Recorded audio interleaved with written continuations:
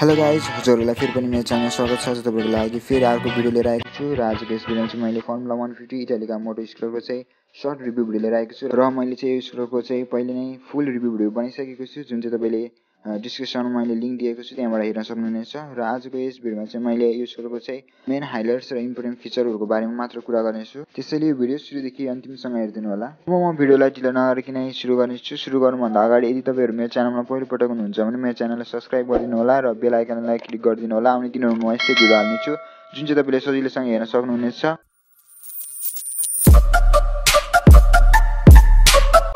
Formula one fifty telecom मोटो स्टोरको चाहिँ नेपाली मार्केटमा यसको price three lakh ten thousand रहेको छ। अहिलेको यो ट्वेन्टी ट्वेन्टी वानमा चाहिँ जुन चाहिँ एकदमै रिजनेबल प्राइस रहेको छ भन्न चाहन्छु। र स्कुटरको चाहिँ माइलेजको कुरा गर्ने भने चाहिँ thirty to thirty five kilometre per litre चाहिँ दिन्छ भनेर कम्पनीले क्लेम गरेको छ। जुन चाहिँ यो स्कुटरको चाहिँ एउटा डाउन पोइन्ट हो भन्न चाहन्छु। किनकि नेपाली मार्केटमा अरू हामी कति स्कुटरहरू दिन सक्छौँ जुनले चाहिँ fifty to sixty kilometre per litre चाहिँ माइलेज दिइरहेको हुन्छ। र स्कुटरले चाहिँ यतिको माइलेज दिनुको कारण चाहिँ किनभने यो स्कुटरमा चाहिँ एउटा पावरफुल इन्जिन रहेको छ जुन चाहिँ वान फिफ्टी सिसीको रहेको छ।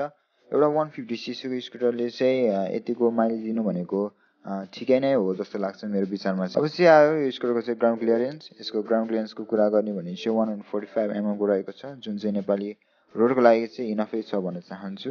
र त्यस्तै गरी चाहिँ स्कुटरको चाहिँ इन्जिनको कुरा गर्ने भने चाहिँ single cylinder four stroke air cool engine रहेको छ जुन चाहिँ one hundred forty nine point five सिसीको engine रहेको छ।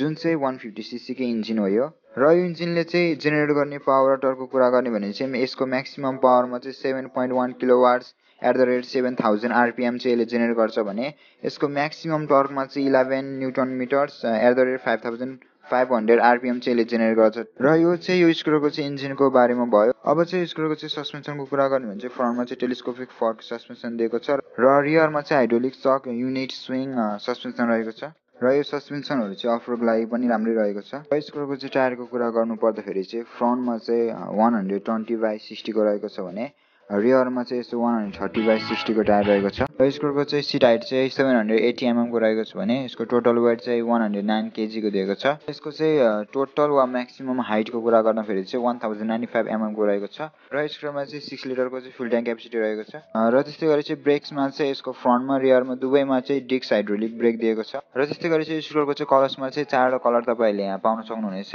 ब्लू रेड ब्ल्याक ग्रिनमा चाहिँ तपाईँले स्कुटर चाहिँ यो चारवटा कलरमा चाहिँ तपाईँले देख्न सक्नुहुनेछ। अब चाहिँ यो भिडियोको चाहिँ म अन्तिममा आएको छु र यही नै थियो यो स्कुलको चाहिँ हाइलाइट फिचरहरू।